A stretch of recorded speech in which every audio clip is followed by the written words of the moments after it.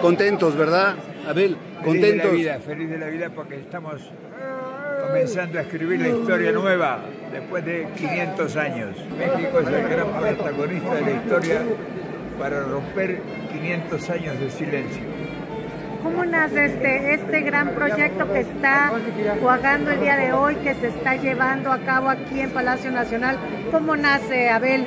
Platícanos un poquito de este tema. Nace de la marginación de 700 millones de habitantes que no han tenido intérpretes y que hoy el presidente de ustedes, su presidente Andrés Manuel López Obrador, ha entendido el mensaje de la historia.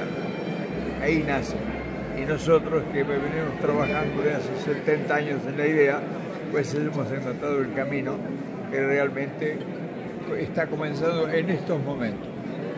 Así que esperen sorpresas. Todas las ideologías y todas las ideologías fracasaron.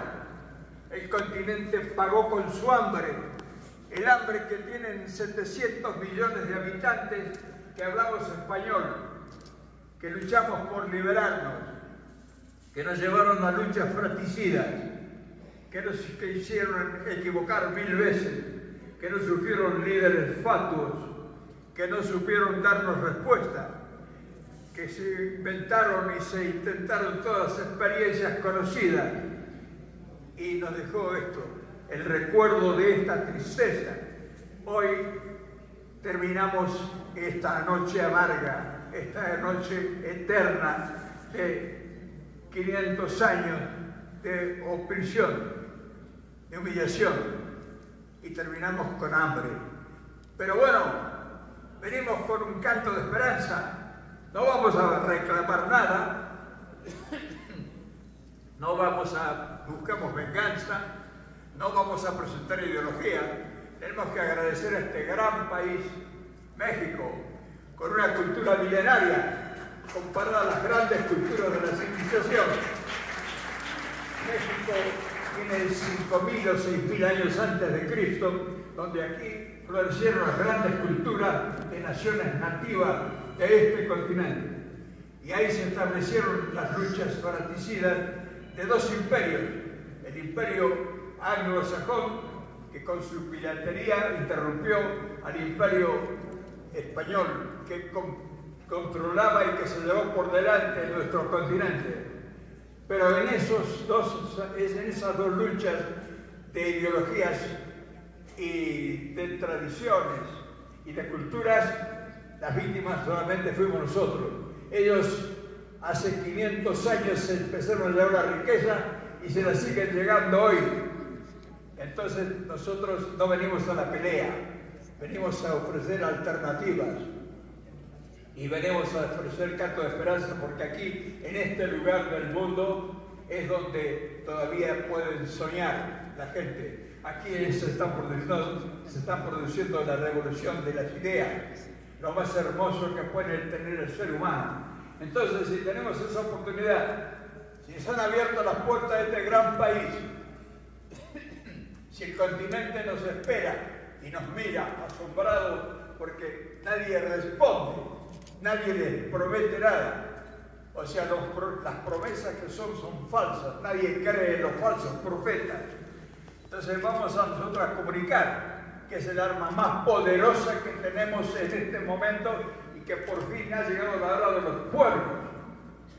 O la hora de los pueblos es que tengamos nosotros nuestra propia voz para hacernos escuchar y para explicar que tenemos esperanzas y sueños, que tenemos propuestas concretas, que somos gente de trabajo, que somos gente honesta y que no queremos que se nos sigan llevando malas riquezas y que se enriquezca un número minúsculo de ciudadanos en el mundo y nosotros tengamos cada vez más pobreza, cada vez más miseria.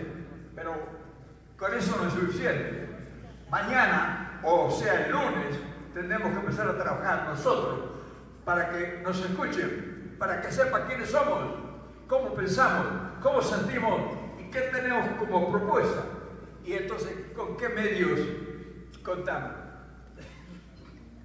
Estamos igual que antes, estamos igual que siempre. Nadie tiene ningún instrumento.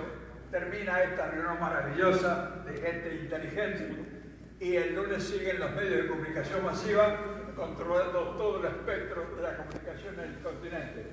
Y nosotros esperando otra promesa más, en silencio y sufriendo las consecuencias del silencio.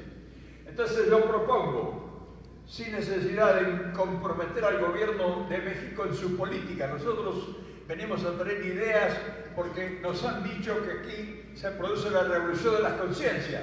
Entonces no venimos a pedirle nada, al contrario, venimos a agradecerle a México que nos ha abierto las puertas para hablar y que podemos hacernos unir y oír en el continente. Vamos a proponer algo importante. Vamos a empezar con un medio de comunicación podemos nosotros controlar.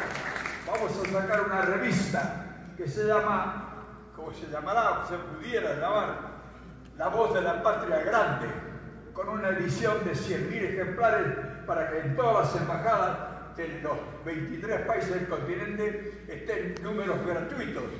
Y esa revista se va a financiar con el aporte del poder corporativo, que no nos va a regalar nada, porque si no debería volver a, comprometerse o a contraer compromiso. Nosotros le vamos a publicar oficialmente en esa revista de 100.000 ejemplares. Para empezar, ¿eh? vamos a publicar publicidad Le vamos a cambiar publicidad para mantener un, un equipo que realmente ese equipo produzca las ideas de todos los países, no que escuchen ideas de los que se dicen privilegiados. Muchas gracias, compañero, por la propuesta. Recordemos que hay muchas solicitudes de palabra y que no va a ser... Yo les agradezco de todas maneras. Sacaremos la revista para que el continente tenga su propia voz y su propia información. Gracias, compañeros. Gracias.